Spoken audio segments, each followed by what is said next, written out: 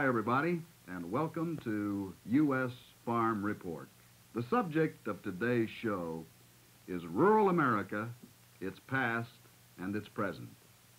We have with us two outstanding guests, spokesmen on this subject. I'd like for you to meet Mr. Vince Rossiter. Vince is president of the Bank of Hartington in Hartington, Nebraska, in the northeast corner of that state, a town of some 1,600 population. Mr. Rossiter is author of numerous articles on the subject of the economy of rural America.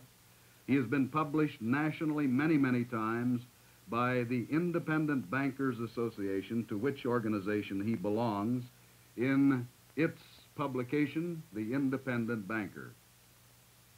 I would also like for you to meet Dr. E.W. Mueller. Dr. Mueller grew up on a farm in northern Iowa. Upon graduation from seminary, he served a small rural church for about 12 years, and right after World War II, Dr. Mueller was appointed secretary of his church's town and country work, and he served in that capacity for 24 years.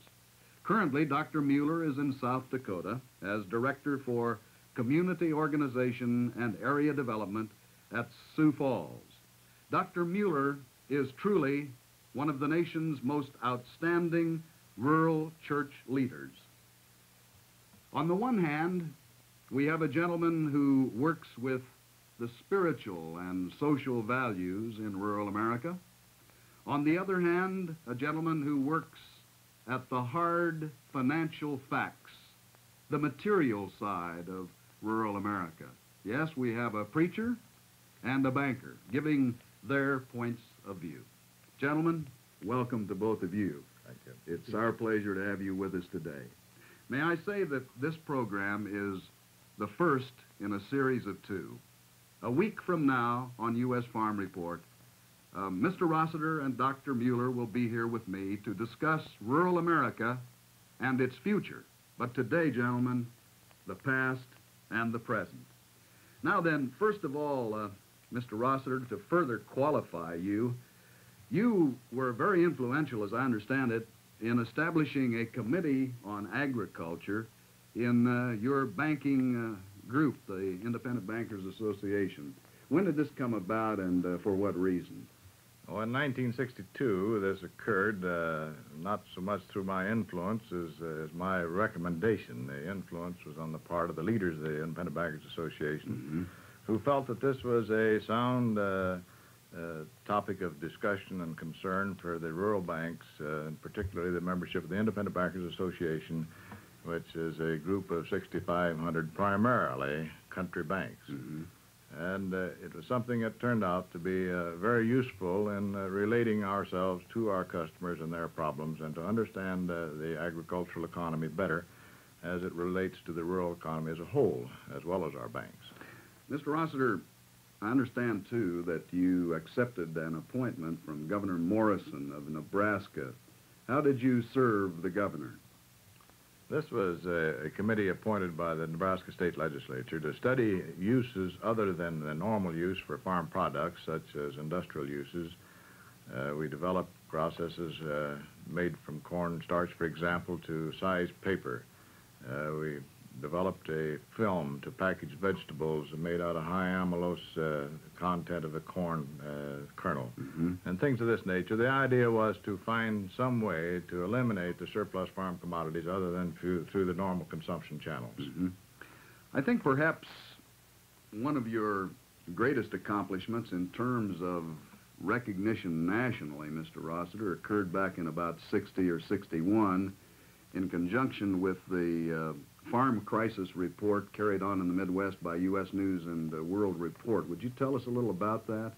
Well, this was quite a surprise to me, actually, because uh, the U.S. News, making one of their usual forays through the Middle West to get information on how the farm economy was operating, stopped in, the reporter stopped in to see us and visited with us like they do everybody. I discovered this gentleman had a wealth of information, actually, and so I asked him to go to lunch with me so I could uh, pick his brains a little bit. And we had a wonderful conversation, and he left, and uh, there was a brief quote in the next issue or so of the U.S. News uh, uh, that I had made. and subsequently, I was in Washington, D.C., on a, one of the trips that we made in an industrial uses uh, cause, and uh, I called him and invited him to have lunch with our industrial uses committee.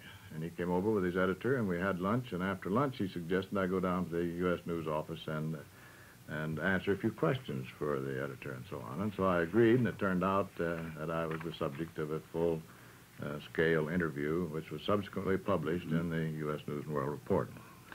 Well, gentlemen, let's get to the subject at hand. Rural America, its past and its present. I'd like for you, Mr. Rossiter, and uh, Doctor, you certainly can comment as we go along. I would like for you to comment on the status quo of rural America economically, and at the same time answer this question. Did the situation in agriculture as we know it today grow like topsy, or to quote your article in the Independent Banker, is it a result of deliberate debauchery of agriculture? Well, actually, the status of agriculture today is uh, no better and somewhat worse than it was uh, last year and uh, has grown steadily worse in relation to the other areas of the economy ever since 1951. Now, one could assume that this was due to the natural laws, but the facts uh, seem to refute this, and the truth of the matter is that it is a deliberate policy of government to maintain relatively uh, cheap uh, farm raw material prices in order to sustain relatively cheap food, shoes, clothing, beverage, and tobacco Mm-hmm. prices at the retail level. This has been used over the years uh, to uh, reduce the average of the wholesale prices index to make it appear as though the dollar wasn't losing as much value as it was actually. But the, the farm economy has been the tail of the economic kite of the United States and has been used to offset the rises in the other areas of the economy. And it really hasn't been uh, progress at all uh, in any sector of the economy. To give you an example of what I mean, in uh, 1954 and 55, the Joint Congressional Economic Committee was conducting hearings to determine uh, what was responsible for the lower farm prices at this time. And among those called to testify was William McChesney Martin, Jr., chairman of the Federal Reserve Board. And Congressman Wright Patman, the chairman of the Joint Congressional Economic Committee, asked Mr. Martin whether it would be ruinous if farm prices were up as much as other prices. Chairman Martin replied, It's certainly something we don't want to contemplate. We presume that Mr. Martin's reluctance to contemplate the thought of uh, farm prices rising in ratio to industrial goods was undoubtedly because this would result in an increase in the average wholesale prices index and a decline in the value of the dollar.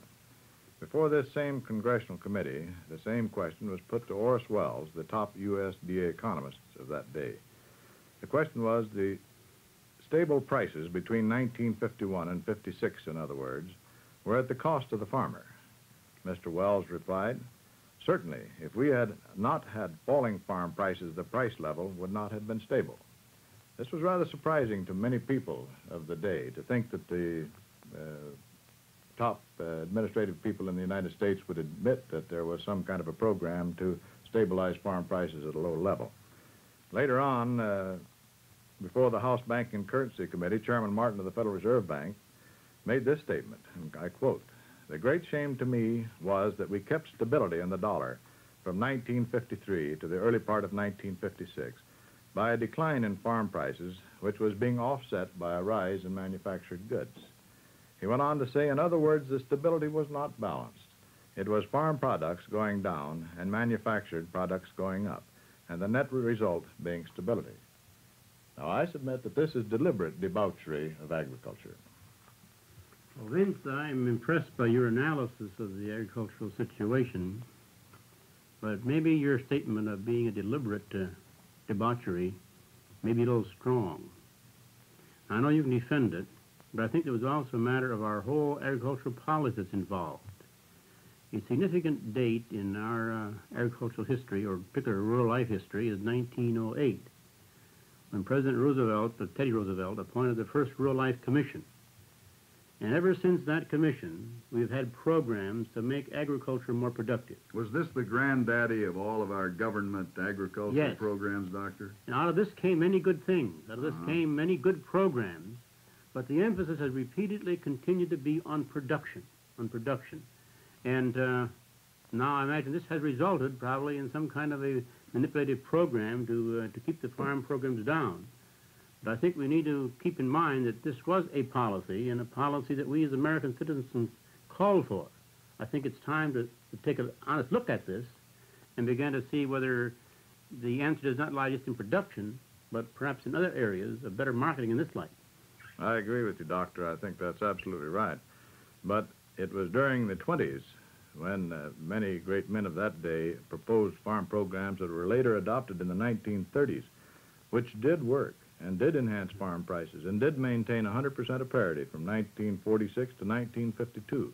But these same programs, and presumably programs that have been uh, improved upon, have resulted in an average decline in farm prices from that day to this day and an absolutely static net farm income at a time when the rest of the economy was achieving all-time new highs of income and profit.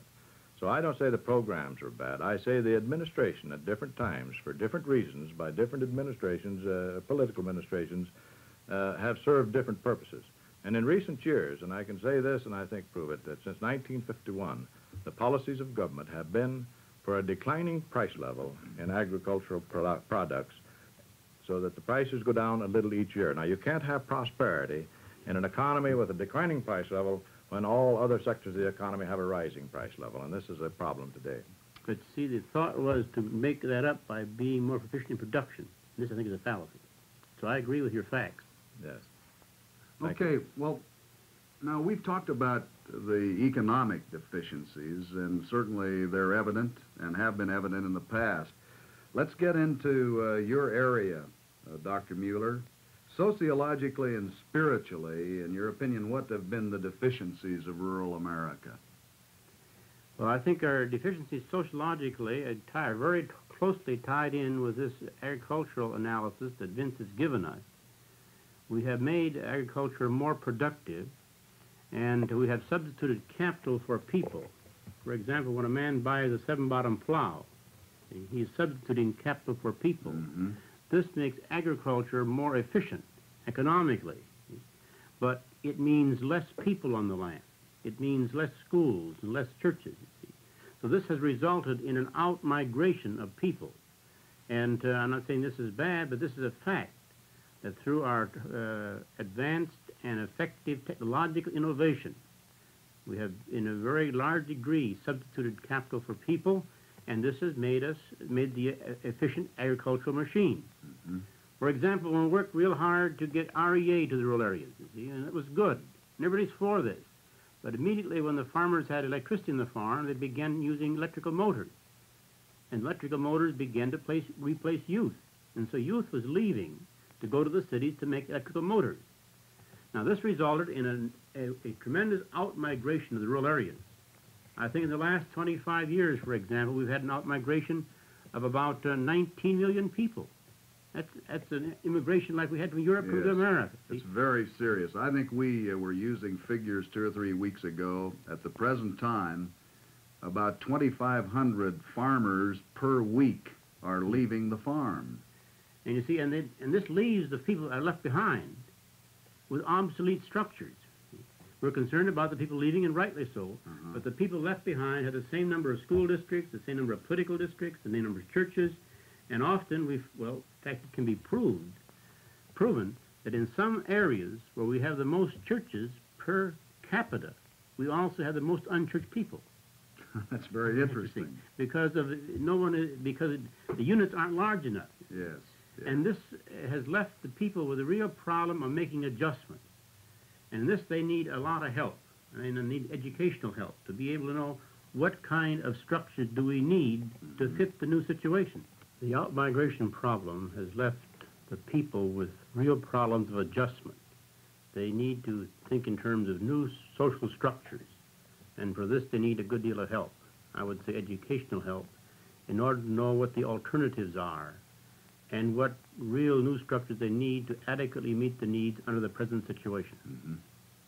What Dr. Mueller has said is, is vital to the survival of the rural areas and uh, the viable rural cities. But it's quite commonly understood that the outmigration of people hasn't cut the cost of doing business because the people have been replaced by technology. And in this case, the technology costs as much as the people did. So the idea that as the people migrate out of agriculture, we can curtail the income to agriculture is a mistake. It doesn't make any difference, actually, if we finally get to the place where there's a 100,000 farm operations. This 100,000 will have to earn a proportionate share of the total national income.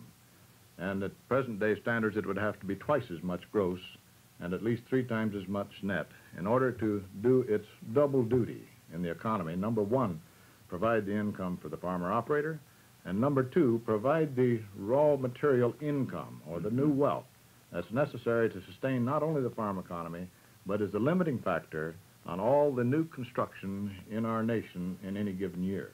Now, this is contrary to commonly accepted uh, economic concepts that the money is created by bank loans. Now, if this were true, we would never have any problem because as long as we could loan money, we would have prosperity.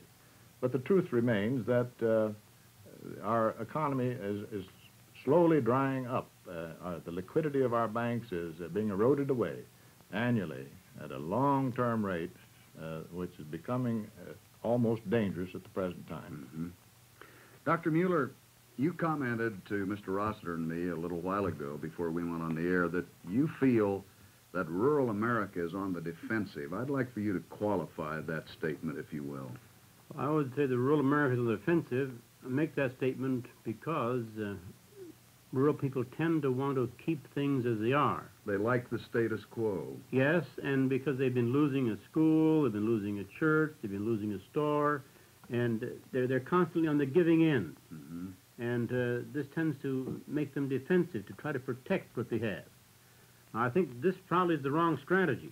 I think rural people need to get off the defensive and get on the offensive. But to do this, they need the conceptual tools for this, Mm-hmm. and they also need to have an idea of what rural America is going to be like in order that they can begin to regroup their forces and begin to initiate such programs that will move them in the direction of making rural America what we would like it to be. When I refer to the matter of regrouping our forces, I mean to include more than the farm people. I think as far as the agriculture problem is concerned, this the farmers themselves have to solve. But they need the support of the other citizens that make up the larger community. And perhaps the term rural is no longer a useful term. We somehow need to get rid of that dichotomy between Mhm. rural and urban. And uh, we, people who live in a small town of 500 sometimes think they're urban and not rural. It's really one piece. If you really take the news, the situation as it is today, you probably find uh, that life polarizes around a major city, and that people live in many different types of community. They have their convenience shopping center, their partial shopping center, their complete shopping center, and their wholesale retail center. Now, this is one web of human activity.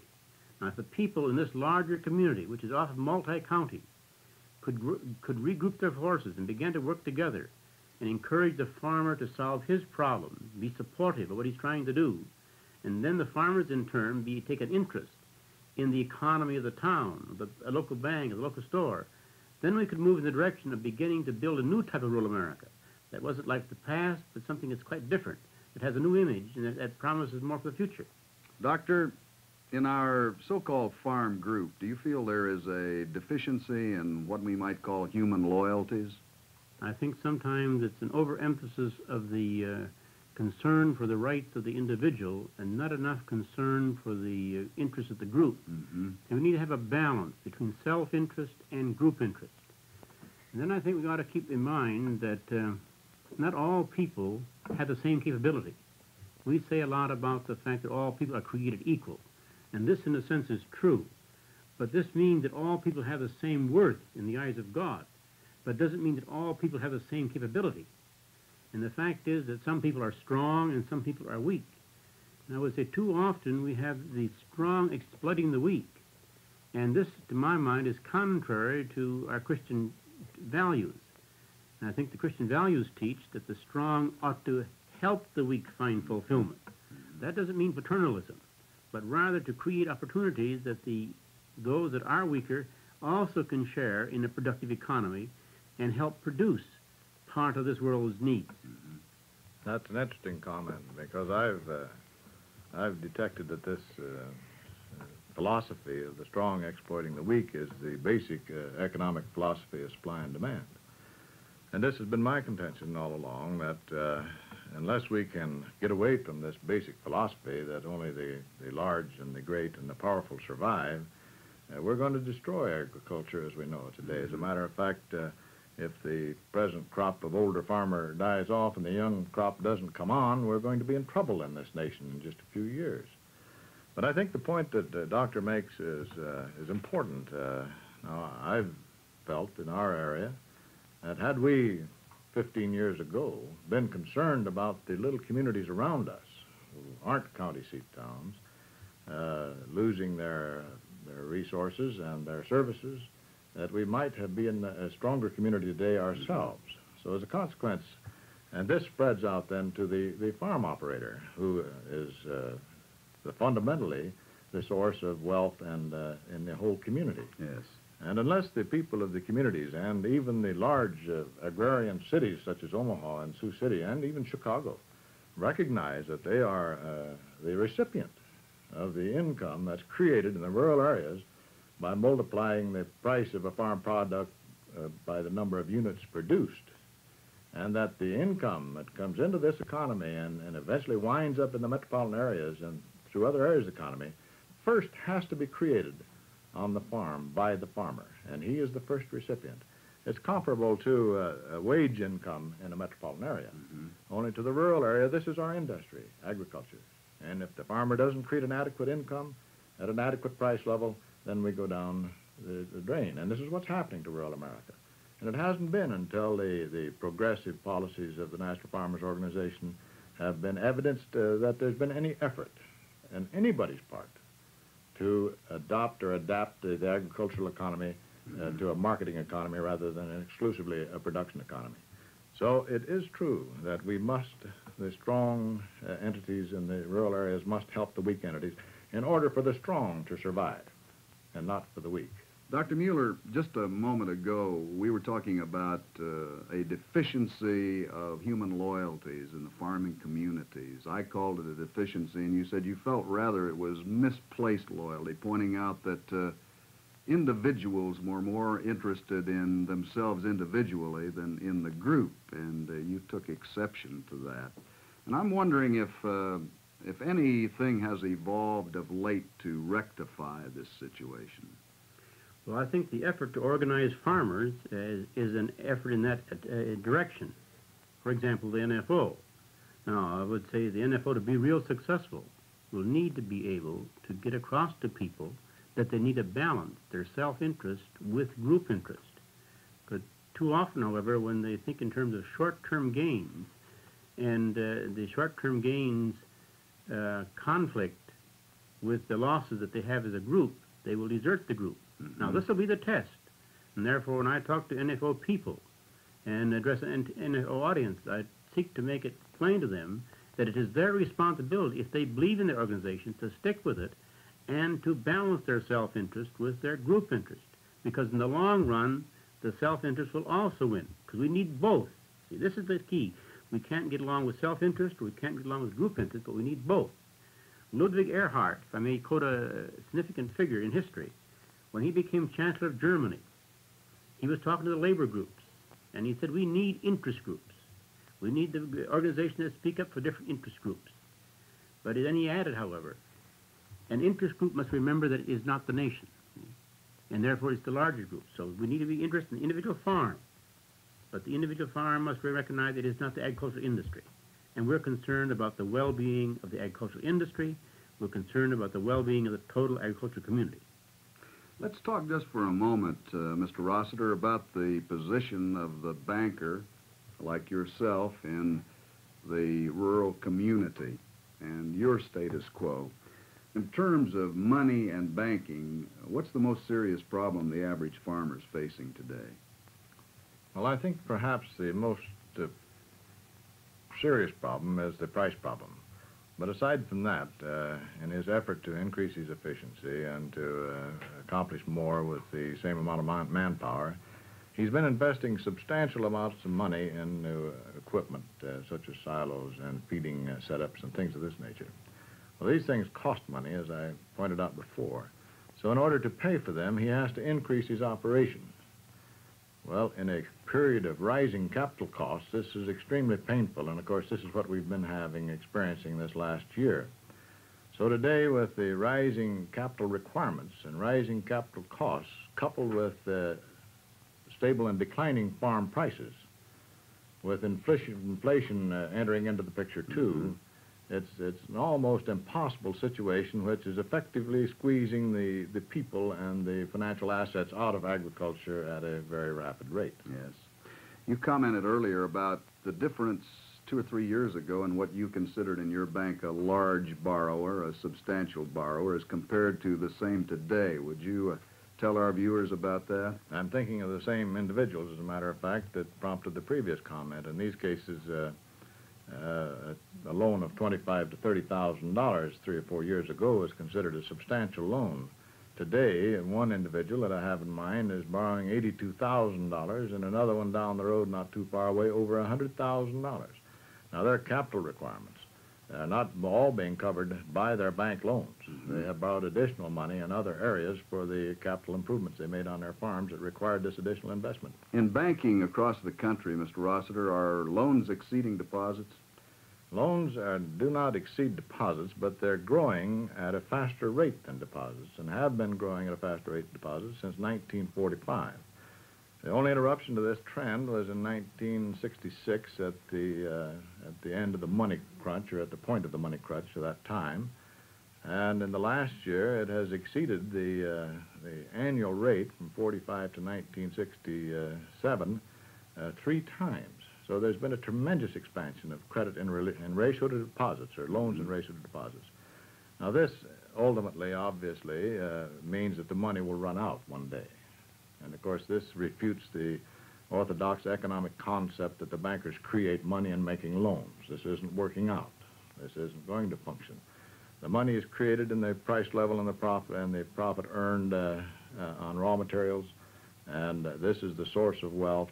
And we have effectively curtailed both the production and the price on the raw materials produced on farms for the last uh, 18 or 20 years, with the consequence that we're not creating the new wealth to continue the operation of the economy on any basis, Mm-hmm. let alone on a cash pay as you go day to day proposition that we could have with honest farm prices. I want to thank you very much, and you too, Doctor, for being my guests today on U.S. Farm Report, and I'll be looking forward to our continuing this discussion next week. Thank you.